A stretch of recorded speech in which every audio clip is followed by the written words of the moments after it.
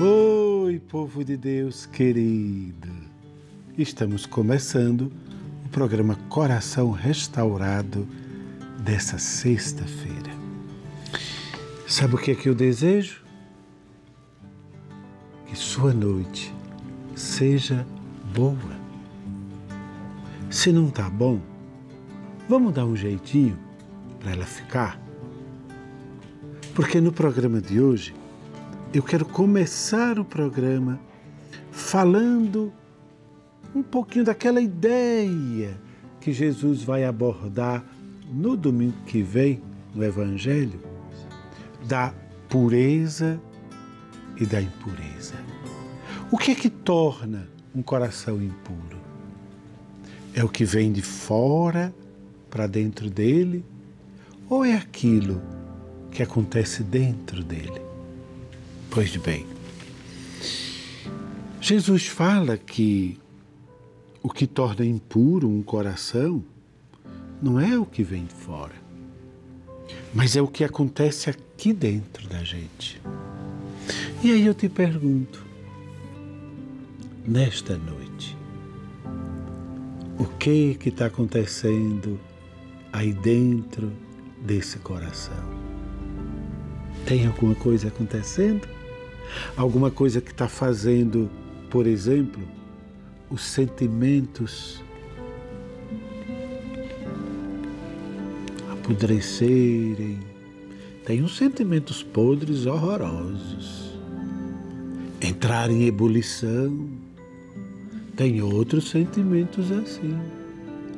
Ou então, talvez algum pensamento porque às vezes os nossos pensamentos também entram em ebulição e isso coloca os nossos sentimentos à flor da pele. E quer saber de uma coisa? Olha bem como as coisas são.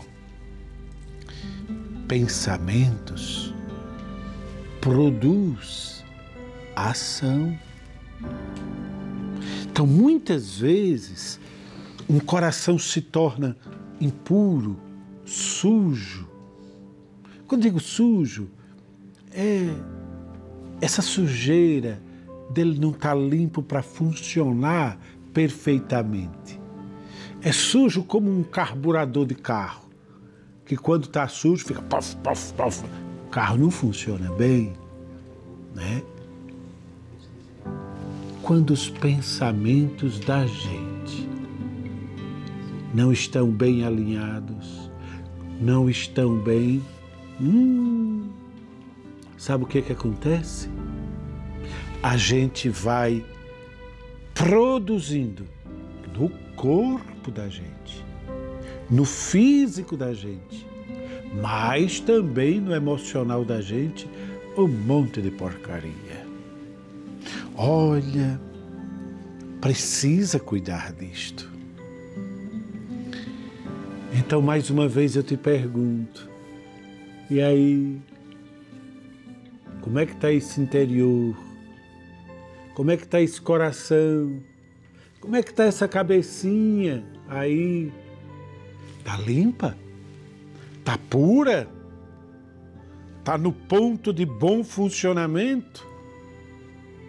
Ou a gente está precisando limpar, dar uma lubrificada. É, porque muitas vezes a gente se esquece de arrumar estas coisas que são interiores. A gente arruma o exterior e até se preocupa com o exterior não é que não deva se preocupar, deve sim. Mas ao se preocupar com o exterior, a gente às vezes esquece do interior. Você quer ver uma coisa? Falar para você. Hum.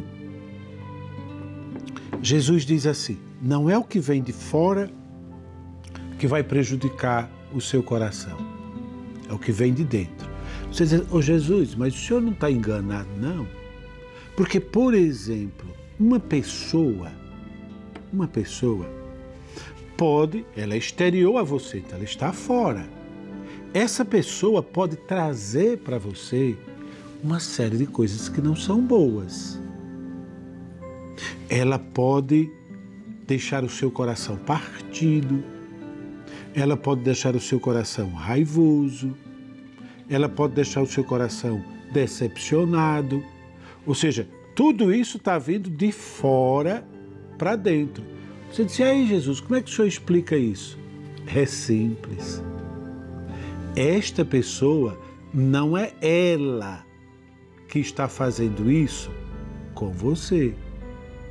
É você que está permitindo que o que está vindo desta pessoa lhe afete do modo como está afetando. Porque muitas vezes é o modo como a gente recebe isto que lá dentro de nós isso explode, se transforma, se modifica. Eu uma vez aqui já contei uma historinha, mas eu vou contá-la de novo. Porque ela explica bem o que vem de fora, como nos atinge. É a história daquelas duas comadres. Uma comadre boníssima de coração, uma pessoa admirável e a outra comadre, eita mulher ruim, nossa senhora, a mulher desgracenta. Aí, o que, é que aconteceu? A comadre, que era boa, boníssima, fez aniversário. E aí, aquela outra comadre que não valia nada, chamou o empregado dela e disse assim: Aqui, José, vem cá. Eu quero que você leve um presente para minha comadre lá, que está fazendo aniversário hoje. Aí pegou um monte de bosta de vaca, daquelas mole, encheu uma caixa assim, fez um, um pacote, colocou um, um papel bonito por cima e falou para ele assim: vá lá e ó, entrega isso aqui para comadre. Diga a ela que é o que ela merece empregado foi. Chegou lá, entregou para aquela comadre boa o pacote lá. A comadre boa estava no jardim cuidando das rosas lá. Quando abriu o pacote, olhou e disse assim: ah, Meu! Mas minha comadre é uma santa, gente. Mas de que maneira essa mulher pôde se lembrar que eu estava precisada de mais da conta destas bostas de vaca para eu poder colocar aqui nas minhas roseiras? Virou para ele e disse assim: agradeça a ela, diga que fiquei feliz da vida com o presente dela. Pois bem, chegou o aniversário desta comadre que não valia nada. Aquela comadre boa, olhou para as roseiras dela, tudo florida, lindas, maravilhosas. Colheu um buquê de flores, do mais bonito que tinha. Chamou o empregado dela e disse: João, vem cá, João. Leva este presente para minha comadre lá e diga a ela que é isto o que ela merece por ter me dado o presente que me deu no dia do meu aniversário. É só uma história. Mas veja bem,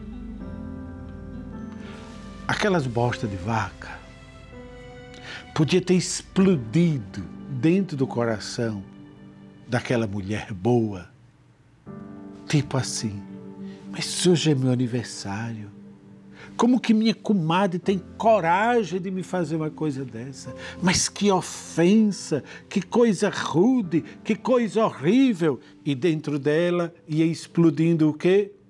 Raiva, ódio, decepção e um tanto de coisas. Veja, o que é que acontece com ela quando chega o tanto de bosta de vaca lá? Ela traz para dentro do coração um outro sentimento, que é um sentimento de gratidão. O que é que eu vou fazer com isso? Vou colocar no meu jardim.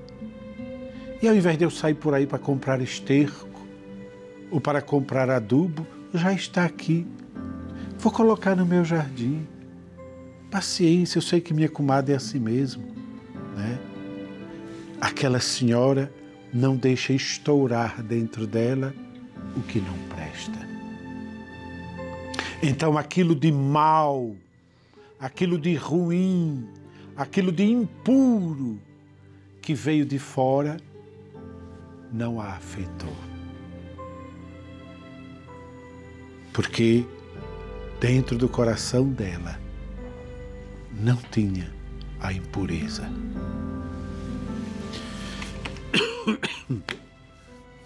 Então eu pergunto de novo. E aí? Tem o que aí dentro desse coraçãozinho? Tem pureza ou tem impureza? Quando você recebe essas pancadas na cabeça, como é que você fica? Louco da vida, e aí tudo que não presta dentro de você explode? Ou você diz: não, isso não vai me atingir hoje. Deve estar com problema, deve estar com dificuldade. Ou então é porque é ruim mesmo. Mas isso é com ele, paciência. Meu irmão, minha irmã, os teus pensamentos são teus. Alimente-os com coisas boas. Os teus sentimentos são teus. Alimente-os com coisas boas. E as tuas atitudes são tuas. Ao ter uma atitude com alguém, seja sempre a sua atitude uma escolha que vai fazer com que a pessoa que for ser o objeto daquela atitude possa se sentir bem. Nos seus relacionamentos, por favor, queira sempre o bem. E eu sei que muitas vezes o que fazem conosco nos levam a querermos o mal. A vida da gente, nas nossas ações interpessoais, sobretudo, é muito parecido com um bumerangue. A gente joga, ele dá uma volta longa e ele volta para sua mão. Então, não mande para o outro nenhuma coisa que não preste, porque mais cedo ou mais tarde aquilo vai voltar para você. Isso não é uma lei do modernismo, é que a vida é assim mesmo. Tá bom assim? Você, por favor, promete que vai pensar nisto daí? Aposto que sim. E então? tomar um golinho de água, né?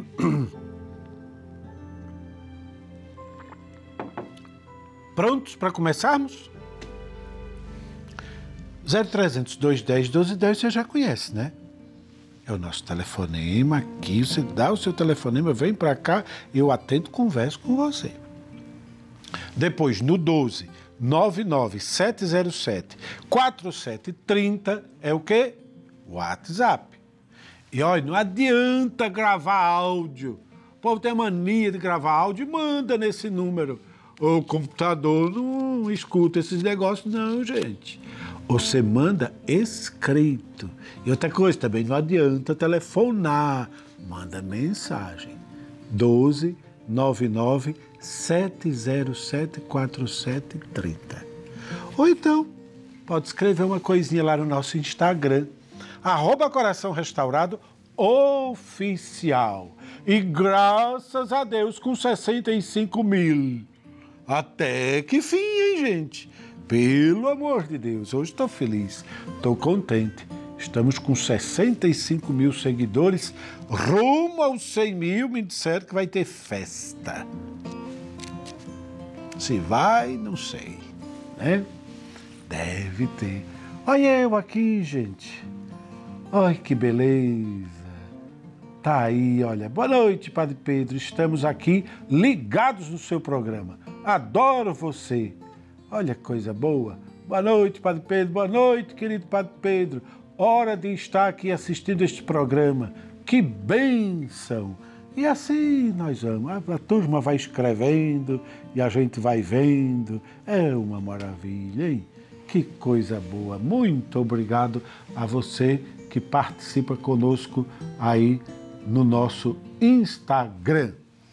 Muito bem. Um passarinho me contou. Ah, gente, hoje quem está dirigindo o programa é o Mike, né? Ó, a, a Geisa é, já está dando tchau para a gente. Hoje veio o Mike, né? depois a gente vai ter mais uma diretora. É uma bênção de Deus, cada dia é melhor. Ô Mike, querido, beijão para você, Deus abençoe, viu? Por dirigir aqui o nosso programa. E aí ele já me agradece mandando um telefonema que é para poder a gente encher a vida de alegria e de gratidão. Eu vou atender quem, Mike? Hum, já vou começar o programa com uma flor. Vou começar o programa conversando com a Rosa. Alô, Rosa! Alô, Padre Pedro. A vossa benção. Deus te abençoe, minha querida.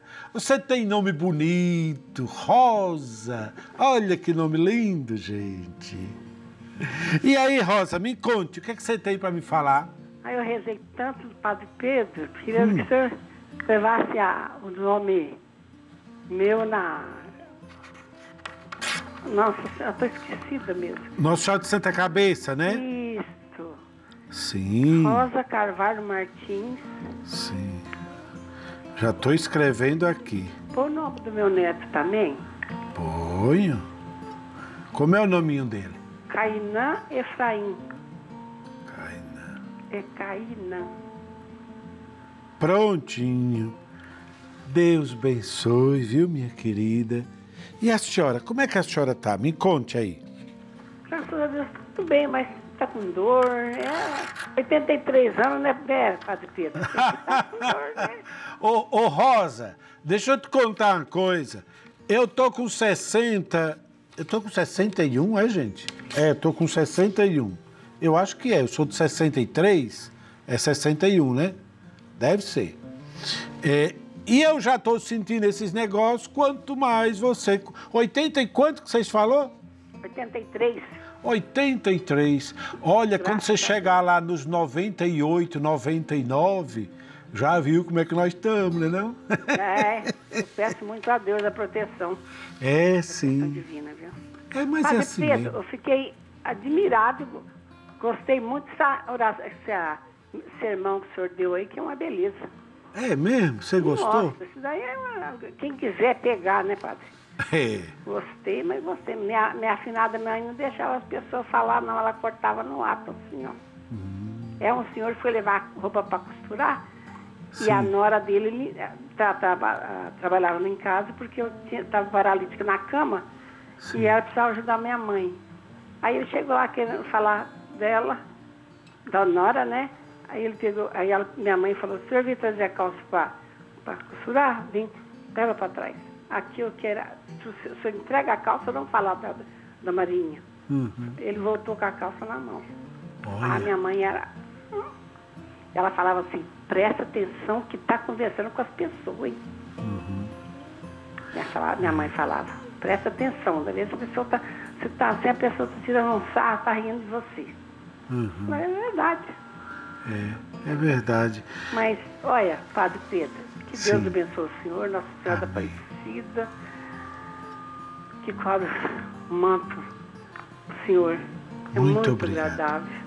Muito obrigado. Põe o nome da minha, da minha cunhada, que ela internou ontem, vomitando sangue. Como que é o nome dela? A Arminda Martins. Tá bom. Rosa querida, Deus te abençoe muito, muito, muito, te proteja todos os dias. Obrigado pelo seu telefonema. Deus te ajude sempre, né, com a sua vida e com a sua saúde. Você também pode telefonar quando quiser, viu? 0300 210 1210, vem aqui participar com a gente. Você viu? Hum, tem mais. Agora eu vou conversar com o Mário. Oi, Mário. A sua benção, padre. Deus abençoe. Você tá bonzinho, Mário? Mas eu tô, eu tô bem, graças a Deus. Melhor hum. ainda falando com o senhor. Louvado seja Deus. Coisa boa, Mário. E aí, o que, é que você tem para me contar? Conta aí. aí. O que eu tenho para contar é que tudo que o senhor fala aí para mim é sério para mim. É mesmo? Até, é mesmo. É uma, é uma, uma escola. É, Mário. Oi? A gente, padre, não pode deixar o mal vencer o bem. Não. Sempre o, o bem tem que estar na frente. Sim. Porque se já pensou se o mal vencesse o bem, não teria nem sentido. É, acho que o mundo já tinha acabado, né? Ah, com certeza. Então, padre, eu quero pedir a benção senhor e o senhor Sim. levar meu nome lá para sua cabeça para mim, para orientar a minha mente. Sim. Anotar aqui bonitinho, Mário, para eu poder levar. Pronto. Ô, Mário, muito obrigado, viu, meu querido? Sim, do fundo do meu coração, pelo seu telefonema, é, pela sua mensagem e por você gostar disso que a gente aqui devagarinho vai tratando, vai trazendo, né? porque é sempre para o nosso bem, viu? Então Deus lhe pague, viu? Do fundo do coração. O Mário falou uma coisa interessante. Ele disse assim: não é possível que a gente permita que o mal vença o bem. A gente precisa entender uma coisa de uma vez por todas: luz e trevas. O que é a treva? A ausência da luz. Se a luz chega, a treva dissipa. Então eu nunca preciso estar preocupado com a treva eu sempre tenho que estar preocupado com a luz.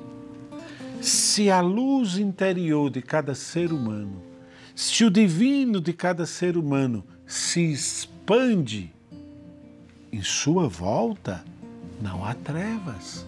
Não há como ter. Você já viu escuridão no meio da luz? Não, não tem. A escuridão, ela sempre vai ser propo, inversamente proporcional à luz. Quanto mais luz, menos escuridão. Quanto menos luz, mais escuridão. Então, qual é a nossa grande batalha hoje? Às vezes eu vejo as pessoas muito preocupadas com o mal que vai acontecer, com isso, com aquilo as pessoas falando demais da conta do que não presta, das tragédias, das desgraças e etc. É parafernália.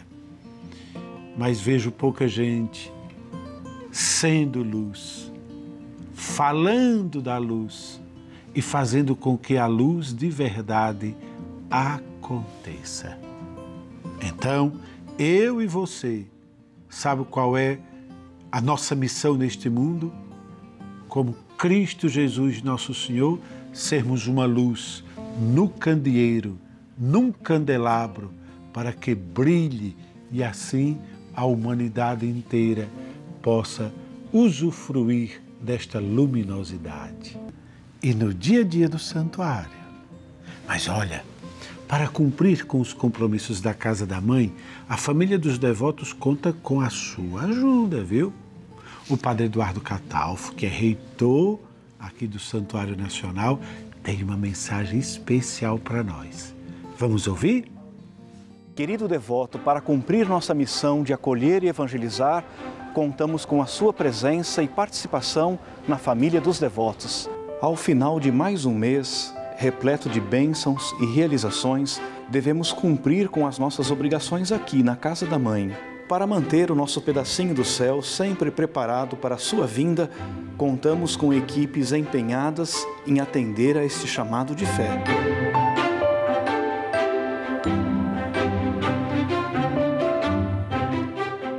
Em cada cantinho especial da Casa da Mãe Aparecida, queremos que você se sinta abraçado e acolhido. Ao participar da família dos devotos, muitas são as maneiras de colaborar conosco. Pela revista de Aparecida, presente que te enviamos todos os meses, você pode nos ajudar. Utilize o seu aplicativo de banco ou vá até uma lotérica para concretizar esta partilha. Pelo calendário da Jornada Bíblica, este belo projeto de evangelização sua contribuição é realizada dentro de instantes. Pelo boleto, utilize o QR Code disponível para fazer a sua doação pelo Pix. Para menores preocupações, cadastre o seu cartão de crédito para nos ajudar mensalmente. Acesse a 12.com/doação. Adicione os seus dados pessoais e selecione a quantia desejada para a doação. Vale lembrar que nosso portal é extremamente seguro será debitado apenas o valor escolhido, sem comprometer o seu limite de crédito. Se preferir, utilize o seu cartão do devoto e faça uma doação extra para a Casa da Mãe. Basta abrir a câmera do seu celular e utilizar o QR Code na parte de trás do seu cartão. Com suas mãos generosas, fazemos com que cada vez mais devotos venham ao encontro da Mãe Aparecida. Faça parte da nossa família aceite o chamado que vem de Deus e sinta a transformação em sua vida. Para se juntar à nossa família, acesse a 12.com barra Família dos Devotos ou ligue para a Casa da Mãe 0300 210 1210. Queremos que você sinta esse cuidado de mãe no seu dia a dia. Família é o amor de Deus nos oferecendo um pouquinho do céu aqui na terra. Venha para a família dos devotos e colabore conosco. Nós e Nossa Senhora contamos com você. Muito obrigado.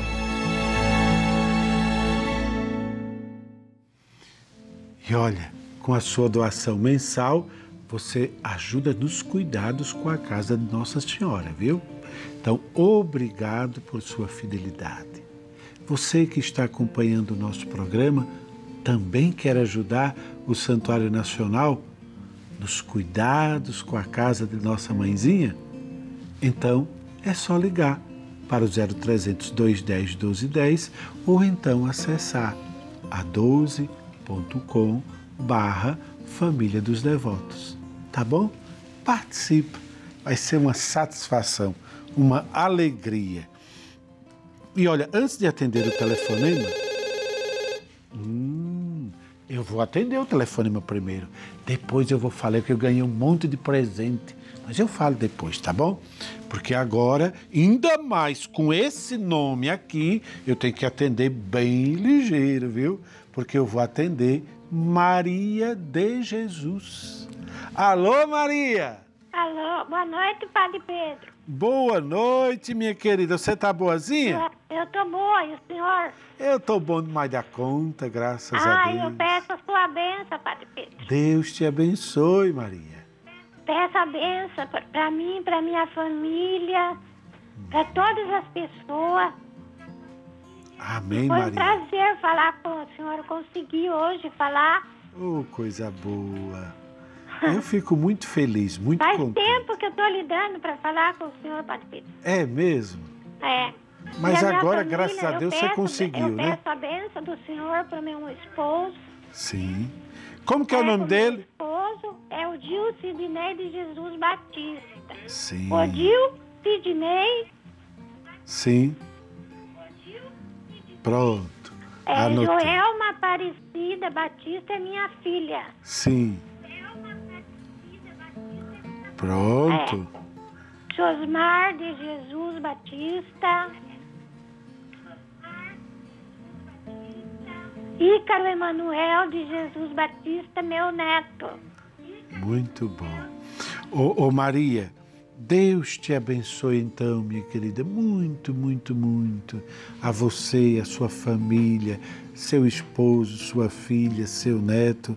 Que Nossa Senhora possa derramar sobre você toda a bênção e toda a graça, tá bom? Um abraço grande para você. Deus te abençoe profundamente. Tá bem? Olha, eu tinha dito que eu ganhei presente, né, gente? Mas eu ganhei um tanto de geleia, gente, um monte de geleinha. Delícias da vovó. Olha, essa daqui é de moranga, é aqui que tá, né? Essa daqui é de jabuticaba, que eu vi. Tem um monte, um monte. Essa daqui é de acerola. Que belezinha. Gente do céu, olha, eu não tenho nem como expressar meu agradecimento. Quem me mandou foi Maria Lenice. Ela é de São José do Vale do Rio Preto, Rio de Janeiro. Recebi, viu? lindeza do meu coração. Muito obrigado, viu? E vai dar para fazer um tanto de coisa com isso lá na minha cozinha, além de comer, né? Você mandou bastante. Deus abençoe, viu? Te proteja todo dia. Deus lhe pague. Ô diretor querido, é, vamos atender mais um? Antes que a pessoa fique aí, tadinha. Essa daqui é nome importante, é nome real, viu? Regina Alexandrina. Alô, Regina! Padre Pedro, mas que alegria de falar com o senhor pela quarta vez. É mesmo. Oh, então, padre, a sua bênção. Deus é uma felicidade imensa ter o senhor na minha casa. Oh, que bom. Porque eu, eu fico sou feliz. aquela, eu, eu, eu sou aquela do vestido vermelho. Ah, você é famosa já. Aquela do vestido, a bailarina do vestido vermelho. Viu só? Então, ô padre, eu quero pedir, eu tô meio preocupada com meus filhos, eu quero pedir bênção para eles. Sim. Antonilson, Gilberto, Daniel e Fernando. Sim. Então, eu quero que o senhor coloque o nome deles na Santa Cabeça. Ah, tá. Então, é, eu quero pedir por eles, para eles, para que Nossa Senhora cubra eles com o manto sagrado em todo o sentido da vida deles, matrimonial, na vida financeira, que Nossa Senhora esteja com eles. Amém. Eu quero pedir, eu quero pedir para o senhor dar uma boa noite aí para a dona Marilu, a dona Marilu, coordenadora da nossa igreja. Ah, que bom. Deixa eu mandar um abraço aqui. Ô, ô dona Marilu, ó. Beijo carinhoso para a senhora. E olha, desde já, viu? Obrigado pelos seus cuidados, pela coordenação bonita que a senhora faz aí na sua comunidade, viu? Deus lhe recompense muito, muito, muito. Tá bom? Pronto, Regina, já mandei o um abraço lá para Marilu, viu? Ô Regina, obrigado, minha querida, pelo seu telefonema. Deus te abençoe muito, viu? E que Deus te proteja você e a sua família, tá?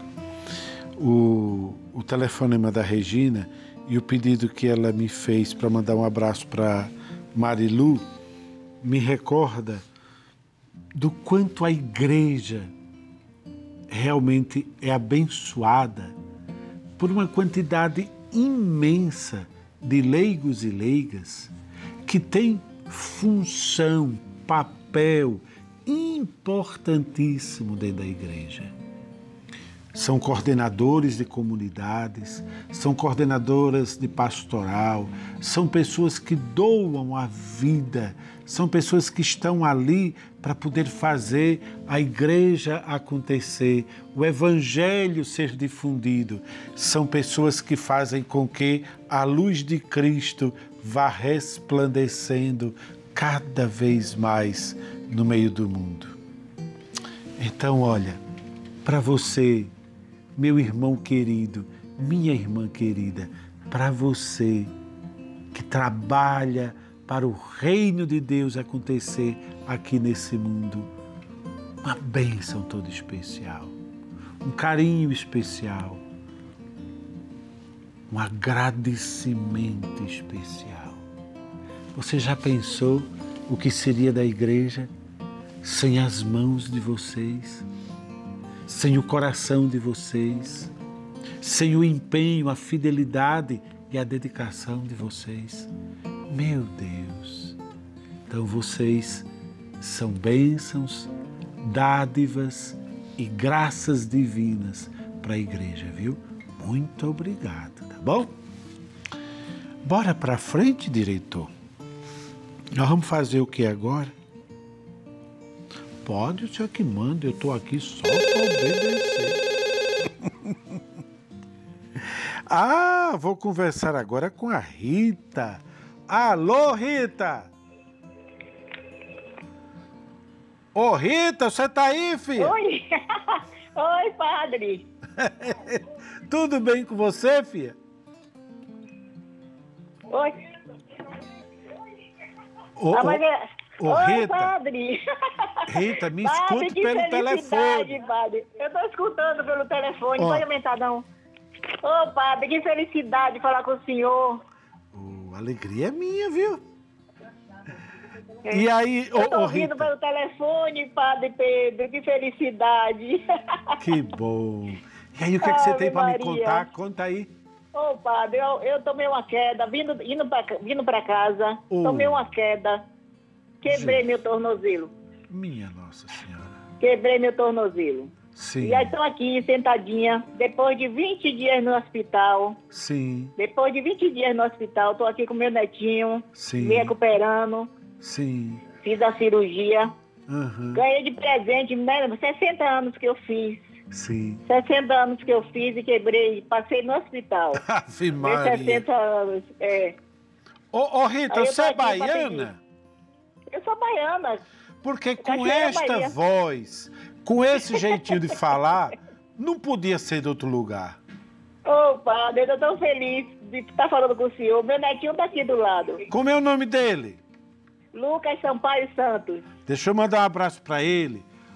Ô, ô, Lucas, querido, ó, beijo pra você.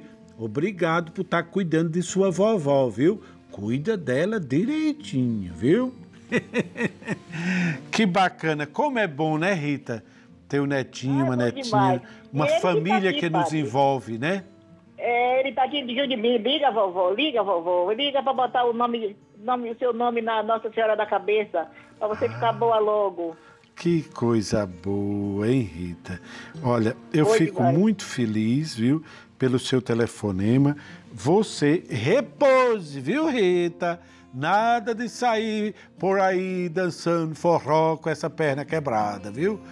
Com esse tornozelo assim. Você descansa direitinho, para ele sarar logo, para você poder voltar à sua vida cotidiana, normal e feliz. Tá bom, minha querida? Oh, meu Deus do céu. Rita, muito obrigado, viu, pelo seu telefonema. E olha, o telefonema da Rita me faz lembrar uma coisa. É, quando eu escrevi, eu já escrevi dois livros para melhor idade. Eu escrevi um livro da melhor idade chamado Melhor Idade, Desafios e Oportunidades. E escrevi agora, recentemente, um outro livro chamado Para Meus Filhos e Netos. Nos dois livros, nos dois, eu indiquei bem para a pessoa idosa um cuidado quase que exagerado com o andar. Por que, gente, isso? Porque quando a gente vai ficando mais velho, o que acontece é que a cabeça nem sempre envelhece. O cérebro nem sempre envelhece junto. O corpo envelhece. O corpo perde mobilidade. O corpo meio que às vezes vai entrevando, perde força, perde elasticidade, perde uma série de coisas. Mas o cérebro continua querendo mandar no corpo como quando ele tivesse 20 anos. Aí o que, que acontece? Na hora da gente andar, o cérebro dá uma velocidade para a gente e o corpo outra. É aí aonde muitas vezes a gente cai e se machuca. Eu treinei, treinei desde os 58 anos de idade a andar devagar. Isso me trouxe duas grandes coisas. Primeira coisa que andar devagar me trouxe serenidade e paz. Quando a gente anda mais devagarinho, a gente anda mais pacificamente e mais serenamente. Mas também andar devagar me trouxe mais segurança. Eu, por exemplo, não ando, eu não preciso disso hoje ainda, mas eu não ando sem segurar num corrimão de uma escada. Eu não subo e não desço uma escada sem segurar no corrimão dessa escada. Só se ela não tiver. Então, assim, Nossa, padre, mas o senhor já está velhinho assim? Uh -uh. Eu não preciso, eu não preciso segurar para subir. E por que, que eu seguro para subir? Porque eu preciso que o meu cérebro se acostume a isso. Para quando eu precisar, o meu cérebro já está acostumado com isso. E isso vai fazer com que a gente evite quedas, tropeções, etc, etc. Então é um conselho. Diz que conselho é que nem café, toma quem quer, né? Tá dado o conselho. Tem quantos minutos que eu tenho? Oh, mas esse diretor, mas ele é de uma generosidade que eu nunca vi um homem generoso que nem este. Ele me deu assim generosamente dois minutos para ir para o intervalo, né? Mas nós vamos, nesses dois minutos, ler uma cartinha de Gilberto Guimarães, de Itapevi, São Paulo. Padre Pedro, que instrumento Deus lhe deu? Deus, nós temos que agradecer por sua vida. Quero pedir oração por mim e por minha família. Sou feliz porque tenho fé na Mãe e nas pessoas que nos orientam para o caminho de Jesus. Ô oh, Gilberto querido, eu agradeço muito. Eu procuro ser o instrumento que sou na mão de Deus, sempre pensando no bem das pessoas. O tempo todo. Se tem uma coisa na minha vida que eu sempre procuro é para esta pessoa que está aqui comigo hoje na minha frente, qual o bem que eu posso fazer a ela? Seja ela quem for. E muitas vezes, quanto pior é a pessoa, mais bem eu quero para ela. Porque às vezes tem gente muito chata, né, gente? Ah, tem gente muito ruim também. A gente sai por aí, eh, vai de um canto, vai no outro. Eu tenho uma vida normal como qualquer outro. A gente se encontra com muita gente. Tem gente ruim. E quanto pior é a pessoa, mais o bem eu desejo a ela. E digo, Senhor, ô pessoa ruim, Virgem Maria, o Senhor capricha na bênção para essa pessoa, viu? Porque ela está precisada, né? Então, sempre peço a Nosso Senhor que Ele derrame sobre cada pessoa a bênção e a graça que aquela pessoa mais precisa. Tá bom? Nós vamos para o intervalo, mas é só três minutinhos, a gente volta correndo, correndo. Estamos de volta com o nosso programa Coração Restaurado.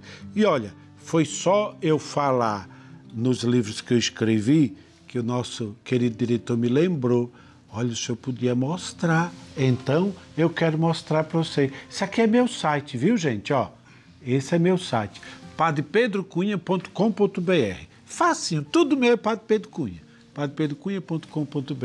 Aqui no meu site tem os dois livros, tá vendo? Olha, em cima tem Paz Interior e Meio à Crise. Você clica ali, compra livro digital, viu?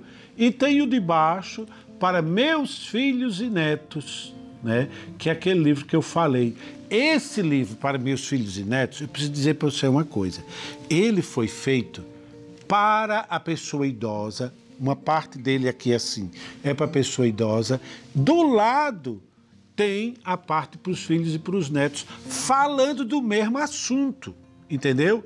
Por exemplo, quando eu digo lá no livro para meus filhos e netos, Olha, é necessário para você ter uma vida boa, que você tenha um bom sono.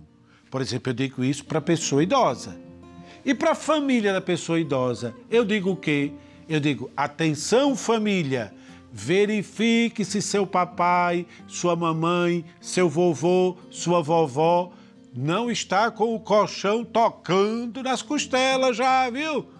o estrado da cama, veja se o colchão dele tá bom, veja se o travesseiro dele tá bom. Se não tiver família, ajuda papai, mamãe, vovô e vovó a ter um colchão bom. Por que que eu faço isso? Porque o livro, ele precisa conter os dois lados da moeda.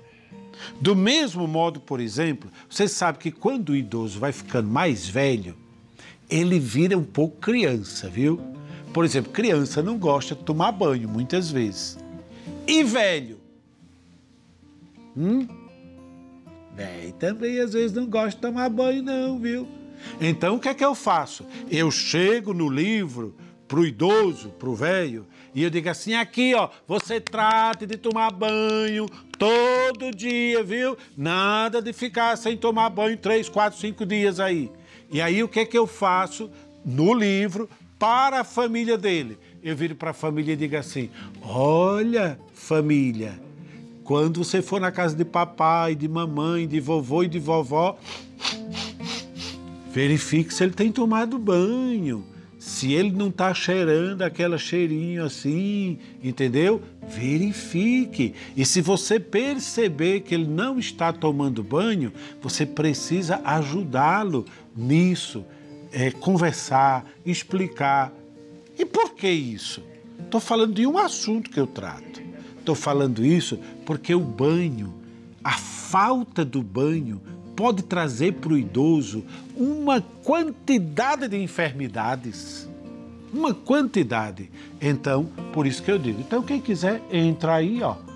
Paz interior ou para meus filhos e netos. Ô, gente, seguinte,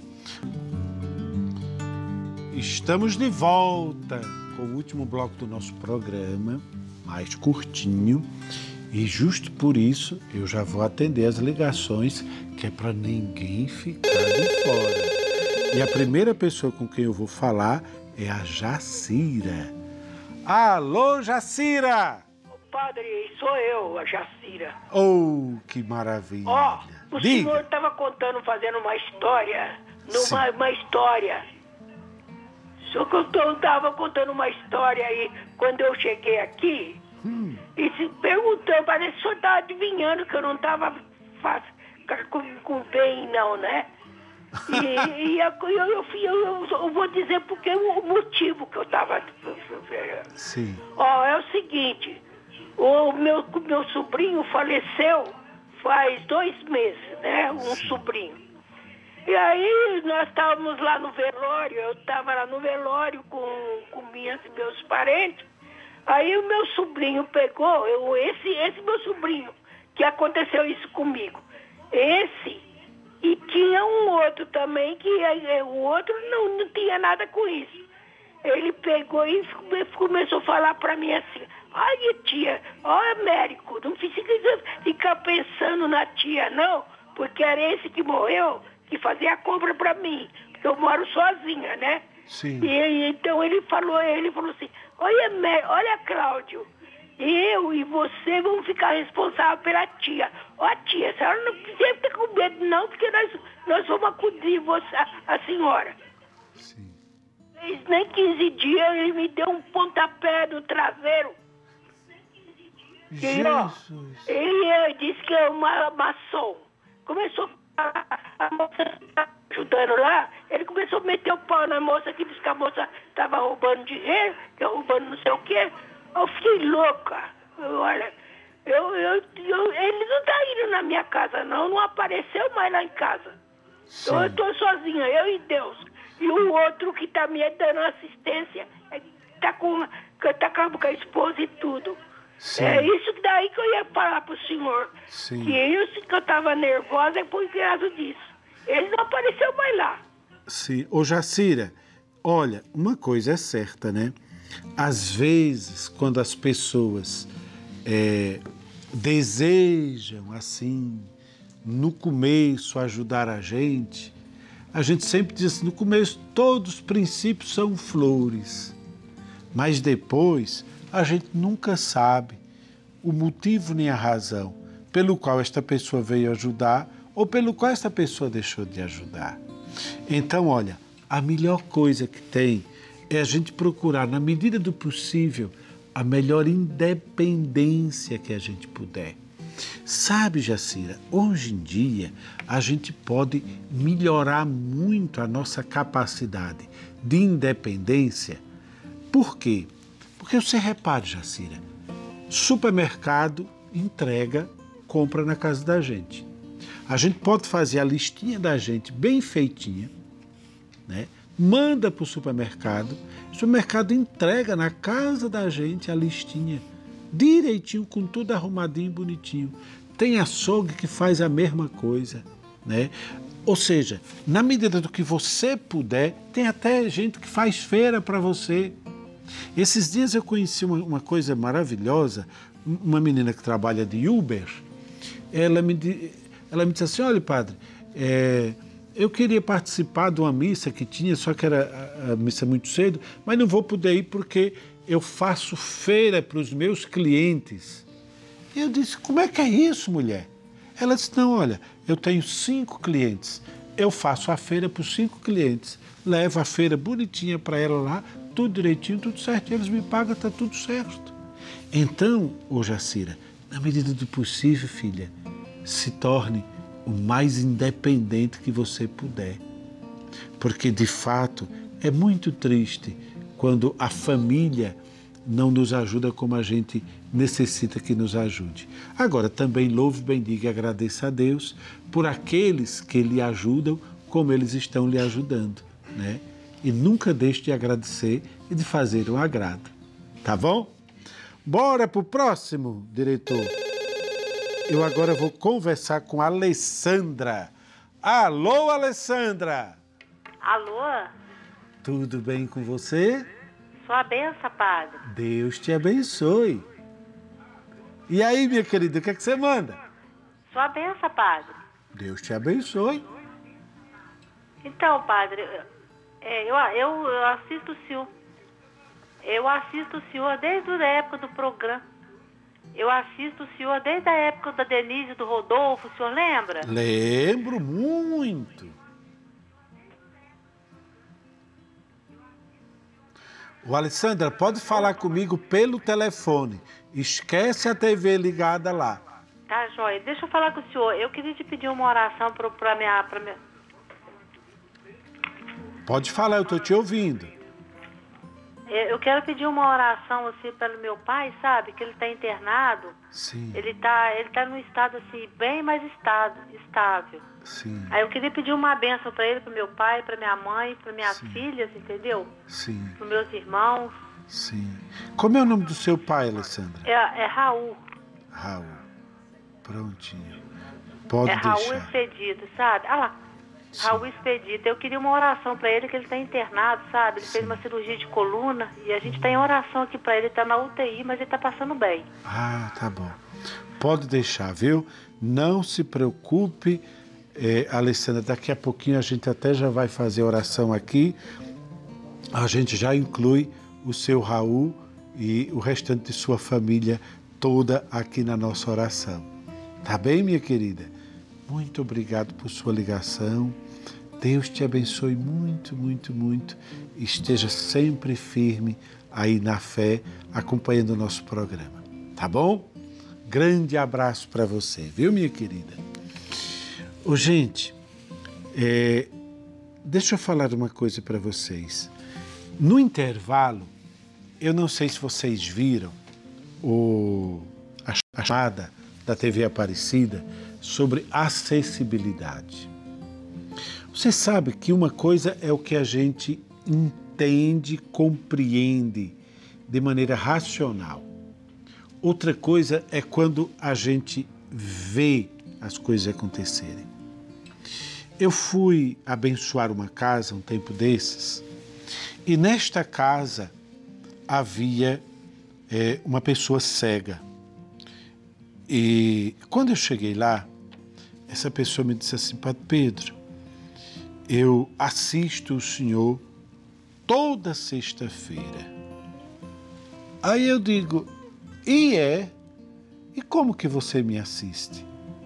Ela disse assim, eu assisto ouvindo o Senhor, mas eu também assisto com a audiodescrição, porque eu gosto dos complementos que são feitos.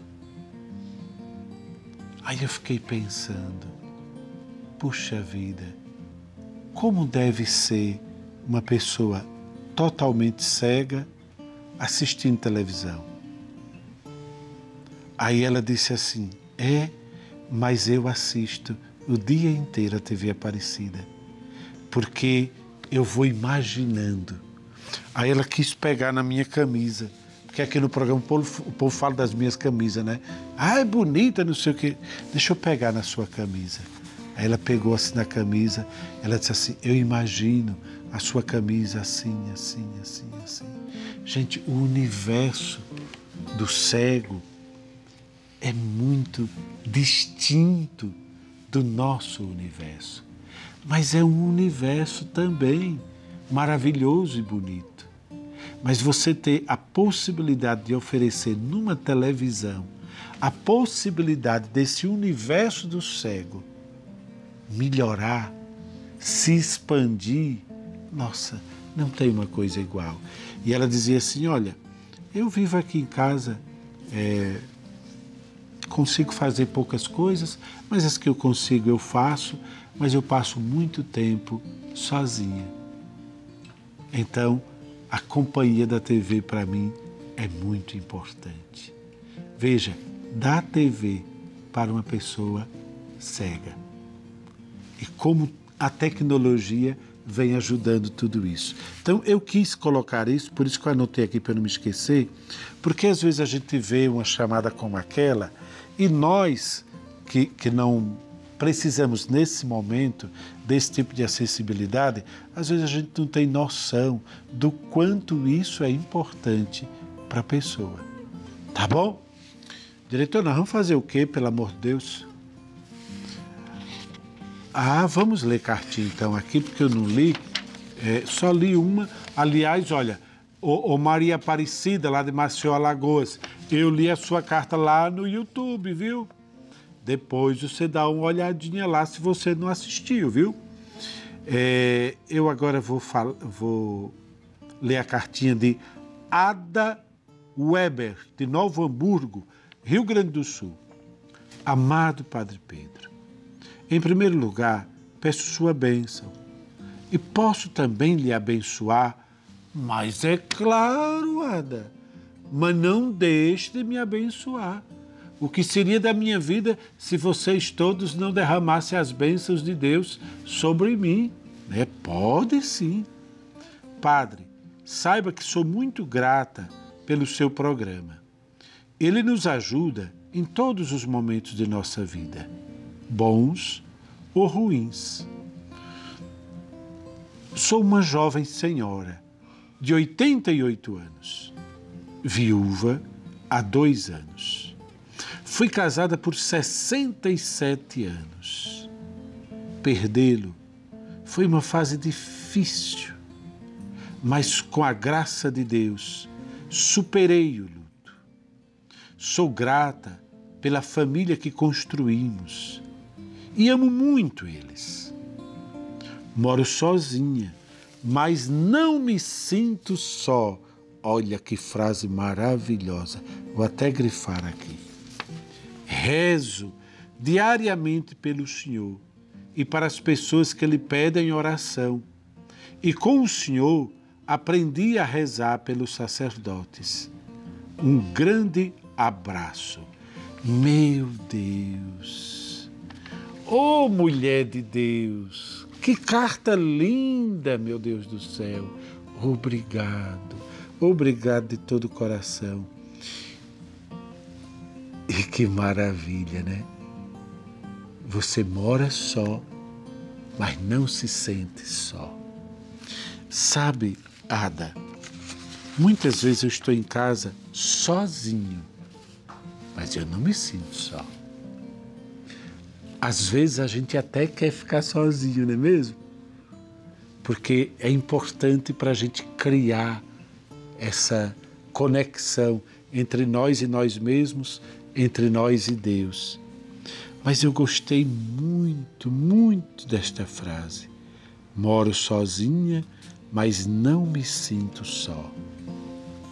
Então, é por meio desta frase que agora nós vamos rezar e pedir a Deus Nosso Senhor que todas aquelas pessoas, especialmente que estão sós, não se sinta só. Mãezinha amada e mãezinha querida, lá ao pé da cruz, a senhora teve a companhia de João e João teve a sua companhia. E Jesus teve essa preocupação de não deixar a senhora sozinha e não deixar João sozinho. Eis aí a tua mãe, eis aí o teu filho. Então, por favor, Nossa Senhora querida, hoje a senhora dê atenção especial àquelas pessoas que não só moram só, mas se sentem sozinhas. Nossa Senhora, faz uma visitinha agora aquelas pessoas que não têm ninguém na vida e que estão passando por um momento de uma solidão tão profunda, tão profunda. Estas pessoas que morando só se sentem só. Mas também, Maria Santíssima, por favor, visita aquelas pessoas que não moram sós, mas se sentem muito sozinhas, sem ninguém. Se sentem sozinhas e abandonadas no meio de grande família, no meio de muitas pessoas. Então, Maria Santíssima, visita agora uma e outra pessoa. E sob sua intercessão, nós pedimos agora ao seu Filho Jesus que derrame dos céus uma bênção especial para todos nós. A bênção do Pai, do Filho e do Espírito Santo. Amém. Fiquem com Deus. Até o nosso próximo programa.